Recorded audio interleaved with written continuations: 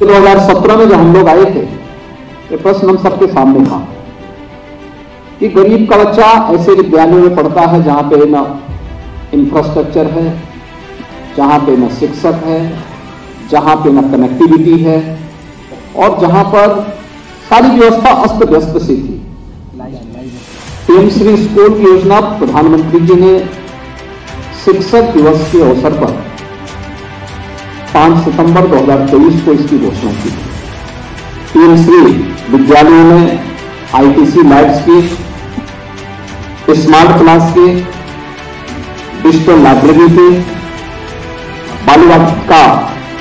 Unit के अतिरिक्त कक्ष, निर्माण का, विज्ञान प्रयोगशाला कंप्यूटर लैब साइंस लाइब्रेरी और वहाँ के फर्नीचर आदि की व्यवस्था के कार्यक्रम के साथ ही स्पोर्ट्स ग्रांट इन सभी को यहाँ पे आज प्रदान करके 928 यानी जो सत्रह सौ तिरपन विद्यालय उत्तर प्रदेश के अंदर चयनित हुए हैं। प्रथम चरण में इस वर्ष 928 ऐसे विद्यालयों का उत्तर प्रदेश के अंदर चयन किया गया है,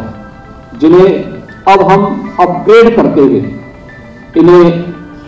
पहली क्लास से लेकर बारहवीं क्लास तक अपग्रेड करने का काम करेंगे और इनमें अत्याधुनिक सुविधाओं के लिए युक्त करते हुए एक इंटीग्रेटेड कैंपस स्कूली शिक्षा का हम प्रदान कर पाएँगे।